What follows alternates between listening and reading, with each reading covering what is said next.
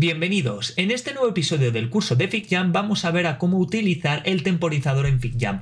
Muchas veces realizamos dinámicas en este programa en las cuales pues queremos que haya un tiempo límite y en este caso esta opción es realmente útil para este tipo de pues eso, de actividades, ¿no? Vamos a irnos a la esquina superior izquierda y tenemos aquí la opción del temporizador. Por ejemplo, vamos a poner un límite de 3 minutos y le vamos a dar a Start Timer hasta a que empiece a contar el temporizador.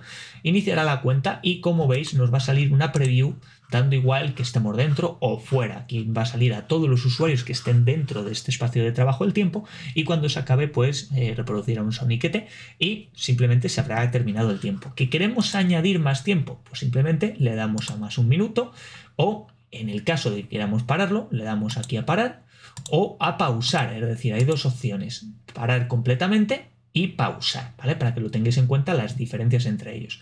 Podemos combinarlo con la música sin ningún problema, es decir, nosotros podemos darle aquí y se reproducirá la música a la vez que tenemos este temporizador activo, algo que es realmente útil.